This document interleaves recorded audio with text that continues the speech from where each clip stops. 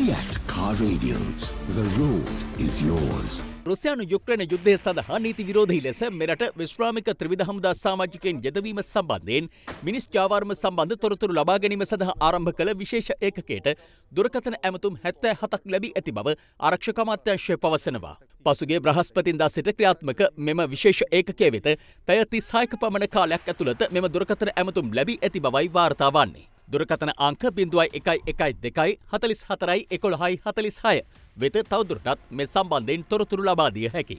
මේ තත්වයක වෙනත් රටක ගීලා සටන් කරන්න එහෙම ප්‍රවේශයක් නෑ යුද්ධෙට ගීල්ලා සටන් කරන්න බැරිවෙච්චායෙන් පස්සේ මේ රජයට කට්ටිය ගේන්ඩ කියලා කියනවනම් ඒක සාධාරණ ඉල්ලීමක් නෙමෙයි. කවුද එක්කෙනෙක් කිව්වා මේ කට්ටිය අවුරුදු දෙකක් හිටියොත් ඒකට සිටිසන් හම්බෙනවා කියලා. ඒකට මෑන් පවර් කම්පැනියකින් ගියොත් එහෙම කොහොමද සිටිසන් දෙන්නේ? රජය මැදිහත් වෙලා ගන්නවා නම් හරි. ඉතින් මෙවැනි බොරු කියලා තමයි කට්ටියව ගන්නෙ. ඉතින් අපි කියන්නේ කරදරයට වැටිච්ච කට්ටිය අපි අනිවාර්යයෙන්ම අපි උත්සාහ දරනවා අපේ තානාපතිකාර හරහා ගෙනෙන්න. හැබැයි කරදරයකට වැටෙන්නේ නැතුව යන්නේ නැතුව ඉන්න කියලා තමයි අපේ මූලික ඉල්ලීම තිබෙන. අද දෙරන YouTube නාලිකාව YouTube අද දෙරන දැන්ම සබස්ක්‍රයිබ් කරන්න.